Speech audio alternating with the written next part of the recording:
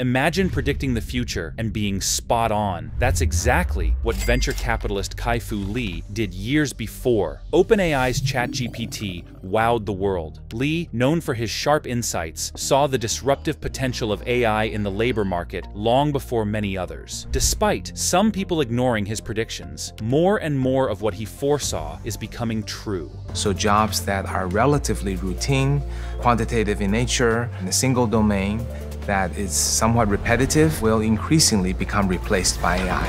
In some cases, the entire industry may be transformed and it's done with no human involvement. All of this will contribute over the next 15 years, leading to something like a 50% job or job task replacement. Back in 2017, Kai-Fu Lee predicted that AI would surpass all of humanity's previous technological revolutions, including electricity and the internet.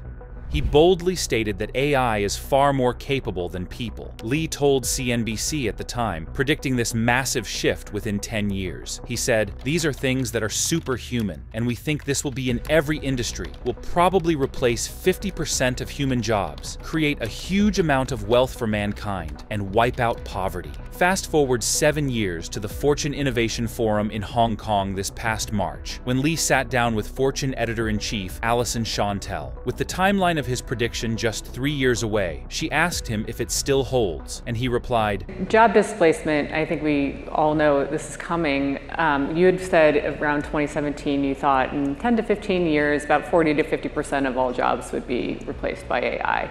Is that still an accurate timeline in your opinion? Um, what the heck is everyone going to do when they don't have a job in three years, if so? It's actually uncannily accurate. People have criticized me for being too aggressive in the 2017, 18, 19. And I was a little nervous at the time, but when Gen AI came, came out, I think everybody's on the bandwagon and believing that is the correct pace. Um, and I think the white collar jobs will go a lot faster. Blue collar job maybe a little slower because more people are shifting to the software only displacement.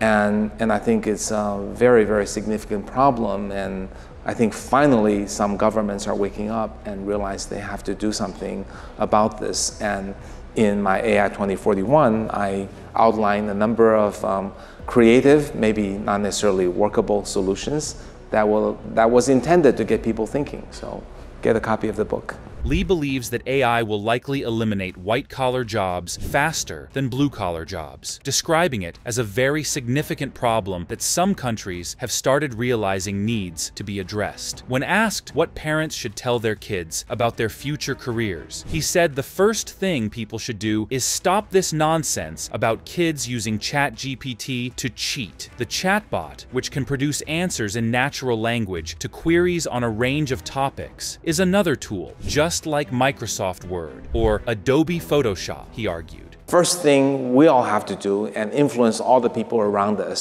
is to stop this nonsense about kids are using ChatGPT to cheat.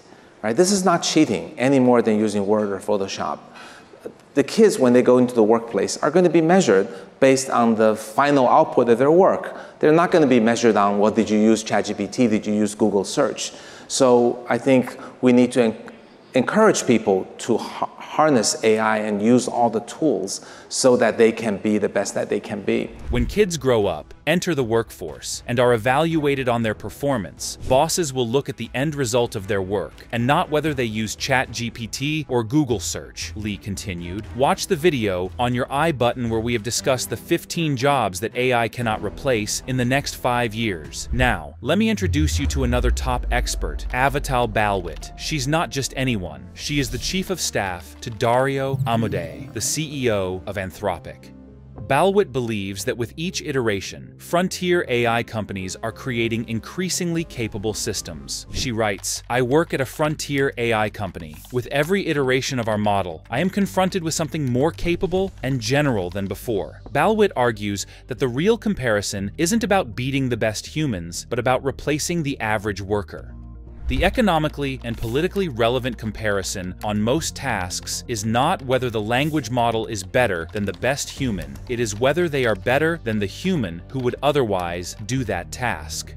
She predicts that AI advancements will continue across all cognitive tasks and raise important questions about the future. Should we meet the possibility of its loss with sadness, fear, joy, or hope? The overall economic effects of artificial general intelligence, AGI, are difficult to forecast, and here I will focus on the question of how people will feel without work, whether they will or can be happy. So, what do you think? How will we handle the potential loss of employment as AI continues to advance? Share your views and don't forget to watch these videos on your screen to stay updated.